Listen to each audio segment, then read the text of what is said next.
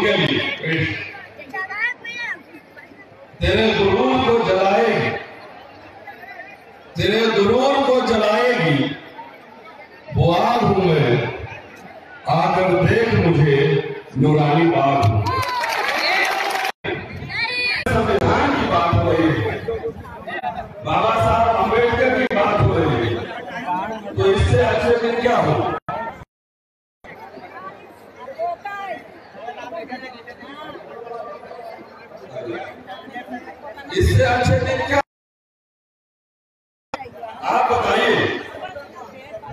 ढाई हज़ार साल से ये सिखलाने की कोशिश कर रहे थे लोग कि महिलाओं सड़कों पे आओ और अपने हक हकूक इक्वालिटी समानता के लिए लड़ो। तो आए, नहीं आए? लेकिन मोदी जी लेकर आए कि नहीं? है? वो अच्छे दिन है कि नहीं? अगर ये नहीं आया रहता सी एनआरसी तो अभी घर में आप बिरयानी पकाते रहते यहाँ पे है। तो जो कहते हैं कि सियासत बुरी बात है, सियासत, तुम मत करो, मुझे करने दो, बुरी बात है। महिलाओं को सियासत से दूर रखा गया, मोदी जी ने एक कानून बनाया और सारे महिलाओं का पुलिसराइजेशन हो गया। सारे महिला राजनीति सीख गए। तो इससे ज़्यादा अच्छे दिन क्या तो ये अच्छे दिन। कहते हैं ब्लेसिंग इन अंग्रेज़ी ये बुरे हालात में भी कुछ अच्छे हो तो ये बात है जिसमें मैं पॉजिटिव कह रहा हूँ। और अभी मोदी साहब ने कहा कि शाहीबाग संयोग नहीं, प्रयोग। तो मैंने उससे अगले दिन ही लिखा भी था और बोला भी था कि शाहीबाग प्रयोग नहीं, संविधान है। और आप जो कर रहे हैं, वो प्रयोग और प्रयोग किस बात का है? वो प्रयोग संविधान को बर्बाद करने की, संविधान की हत्या करने की, संविधान को हटाकर मनुस्मृति को लागू करने के ये है आपका प्रयोग। क्योंकि आप एक्चुअली आपको जिधर मोदी सरकार दिखा रहा है, सब उधर ही देख रहे हैं। कभी कह रहा है, इधर देखो तो इधर देख रहे हैं। कभी कह रहा है, इधर देखो तो इधर देख रहे हैं। लेकिन मैं इतिहास का छात्र हूँ मैं टोटालिटी में देखता हूँ, पूरे टोटालिटी में। कि चाहे राम मंदिर, बाबरी मस्जिद का मसला रहा, चाहे आर्टिकल थ्री सेवेंटी रहा हो चाहे ट्रिपल तलाक का मसला हो, चाहे दस परसेंट रिजर्वेशन का मसला हो, चाहे सी एनआरसी मसला हो, चाहे जो परसों सुप्रीम कोर्ट का आया है कि reservation is not fundamental right आरक्षण आपका मौलिक अधिकार नहीं। तो ये सब देखने में आपको अलग अलग लग रहा है, लेकिन एक ही दर्शन का ये रिफ्लेक्शन है। एक ही स्कूल ऑफ़ थॉट से आ रहा है मनुस्मृति से आ रहा है। कि संविधान तुम्हारा और पन्ना हमारा। कि संविधान में घूमते रहो, अंदर से एक एक पन्ने फाड़। तो इसको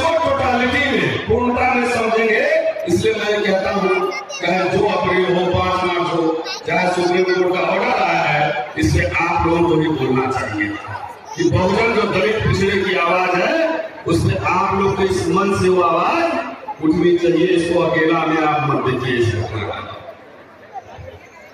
एक बड़े नेता है मोदी साहब के, कैलाश विजय वर्गीय उन्होंने कहा कि पोहा बांग्लादेशी करते खाते थे पोहा बांग्लादेशी खाते थे तो इस पर मुनवर साहब की वो पंक्तियाँ मुझे याद आ गई। तो शांत हो जाइए, अगर नहीं सुनना है तो चले जाइए प्लीज़ हम लोग तीन बजे सुबह उठे हैं बीस मिनट बोलने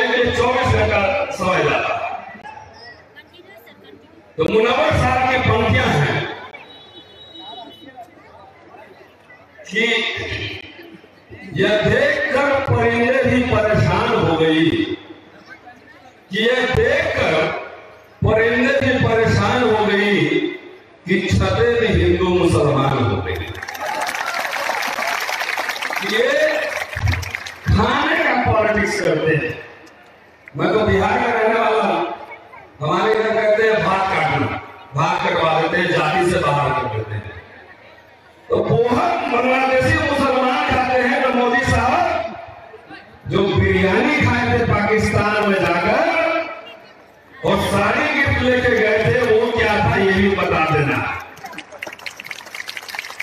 तो मैं अपने भाइयों से कहना चाहता हूँ, मोदी साहब के बार बार इलेक्शन में कभी कहते हैं, मैं पिछड़ा हूँ, कभी कहते हैं, अधिक पिछड़ा हूँ, और अगले चुनाव में बोलेंगे, मैं दलित हूँ। अगले चुनाव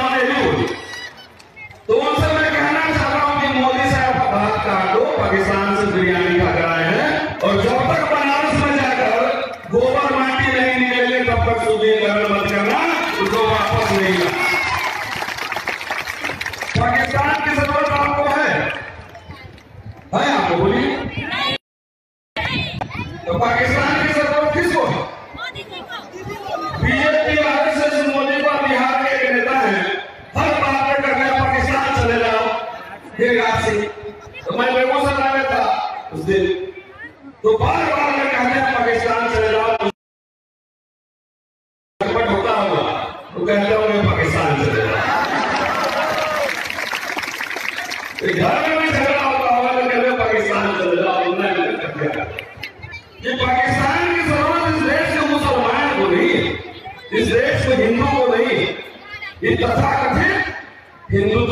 बेकरार है बेकरार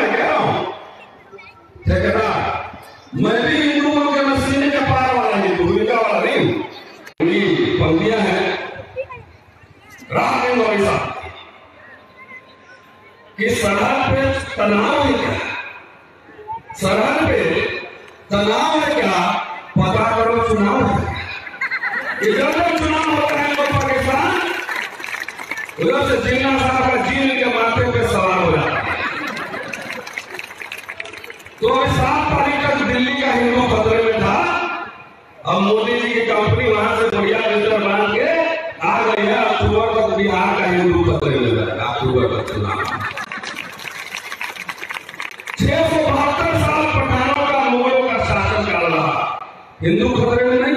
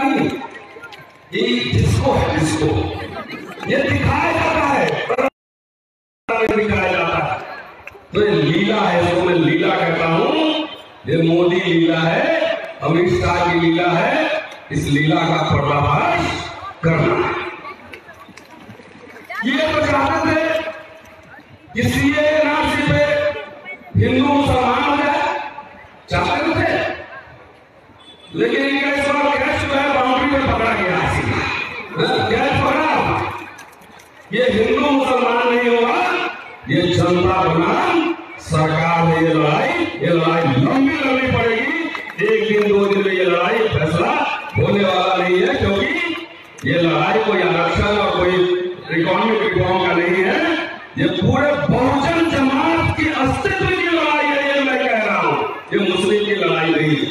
इस बात को आप समझ किसी एनआरसी का एक लाइन में मोटा मोटी खेत बिहार लाल सरकार। कि जैसे दो सौ नोटबंदी किया। किया था ना, नोटबंदी। और जब जब आंदोलन होता है तो नेटबंदी कर देते नेटबंद कर देते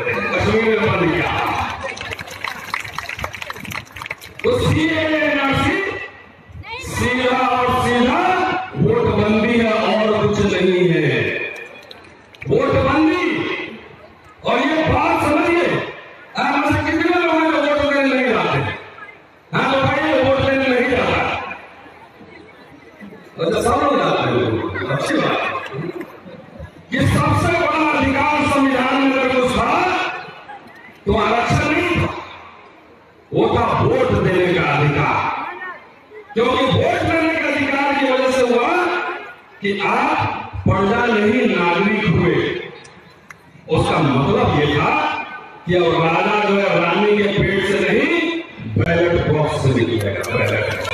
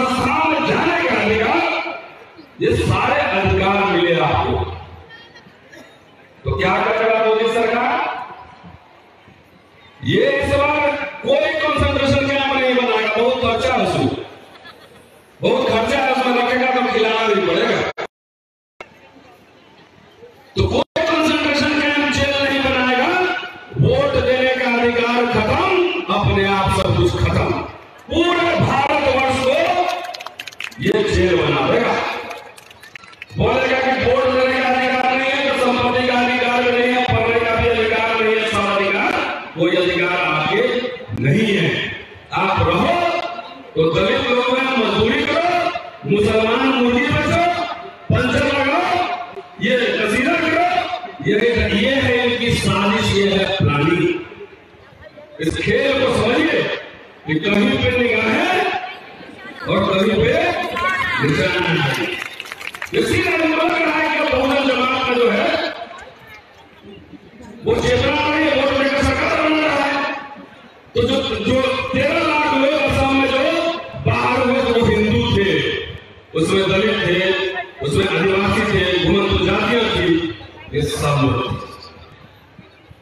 सीधा और सीधा पूरे भारत को जेल बनाएगा इसलिए इसके खिलाफ हम लोग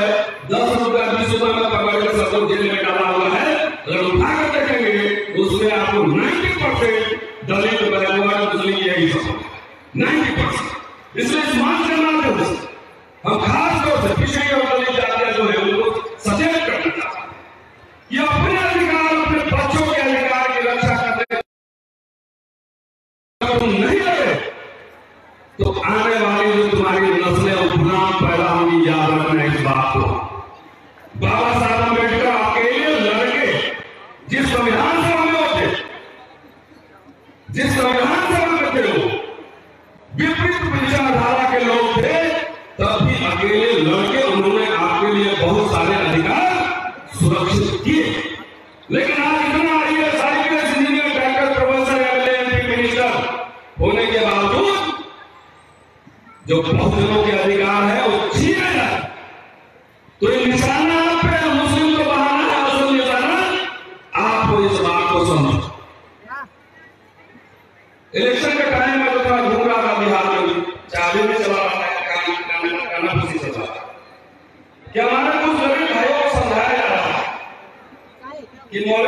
पाकिस्तान चला जाएँगे ज़मीन उर्दू को मिल वाला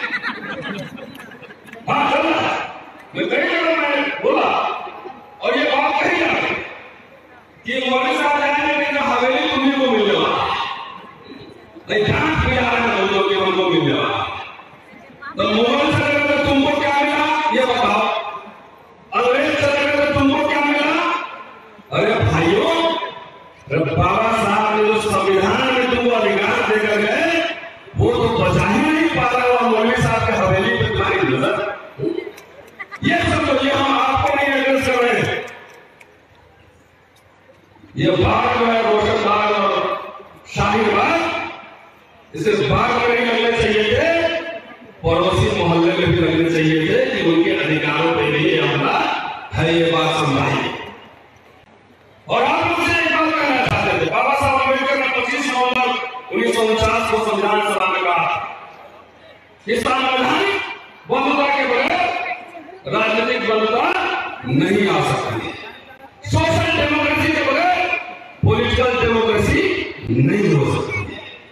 जो एनआरसी जो लाया है, जानते कौन लाया है?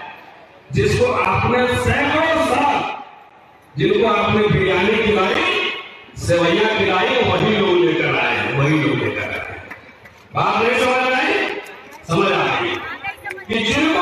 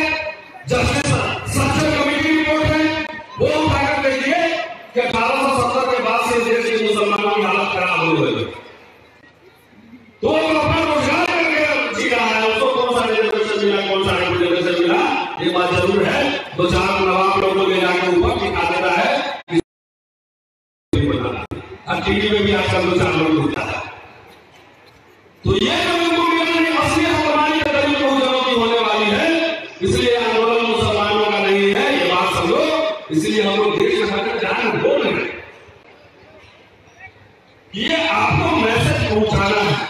ये वोटबंदी है, ये किसी अपर कास्ट को किसी सवर्ण को ब्राह्मण को लगता है ठाकुर को, कि हम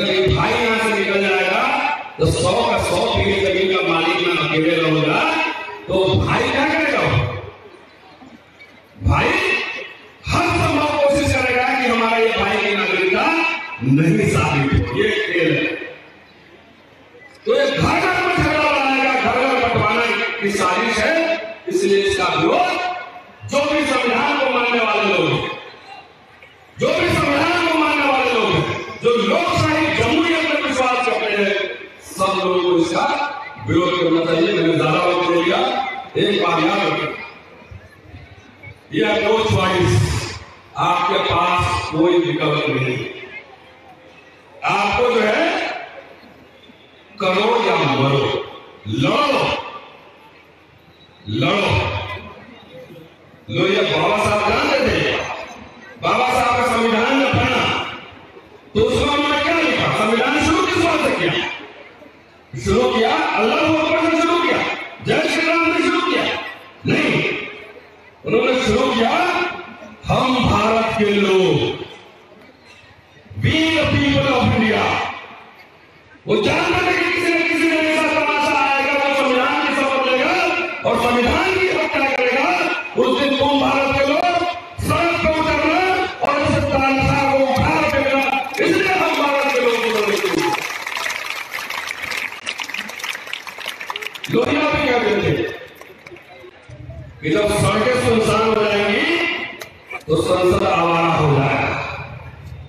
तो आप लोग को देखकर खासतौर से महिलाओं को देखकर लगता है कि अब आने वाले कई वर्षों तक न सड़कें सुनसान होंगी और न संसद को आवारा होने देंगे ये ध्यान रखें।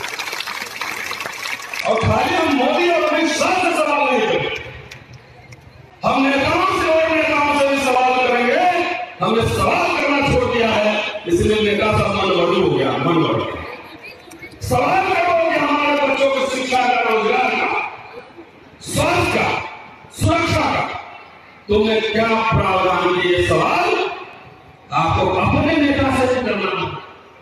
अपने नेता से जो ठेकेदारी में लेता है पूरा जब है तो उनसे भी पूछो। ये सवाल पूछना बहुत ज़रूरी है।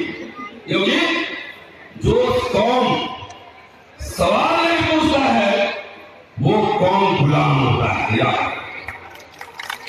जो कौम सवाल नहीं पूछता वो कौम गुलाम होता है चलते चलते दुष्यंत साहब की पंक्तियाँ हैं अक्सर मुझे अच्छा लगता है साझा करना वो साझा करने के बाद खत्म चलिए चलते चलते एक लाइन कहता हूँ ऐसे लगता हूँ कि अमीर साहब ने कहा कि हम एक इंच भी पीछे नहीं हटेंगे तो मैं चलते चलते मुझे यकीन हो गया है कि आप भी आधा इंच पीछे नहीं हटेंगे हटेंगे आवाज़ नहीं आई। अब देखिए तो फलक तो जिद है जहाँ बिजली न गिराने की। फलक तो जिद है जहाँ बिजली न गिराने की। हमें भी जिद है वही आशिया बनाने की. नेशनल दस्तक की आपसे गुजारिश है कि अगर इसको बचाना चाहते हैं तो नेशनल दस्तक को सब्सक्राइब करने के लिए रेड कलर के सब्सक्राइब बटन को दबाएँ। फिर बेल आइकन की घंटी दबाएँ। नेशनल दस्तक को बचाने के लिए बहुत ज़रूरी है कि हर खबर को शेयर करें, लाइक करें, कमेंट ज़रूर करें।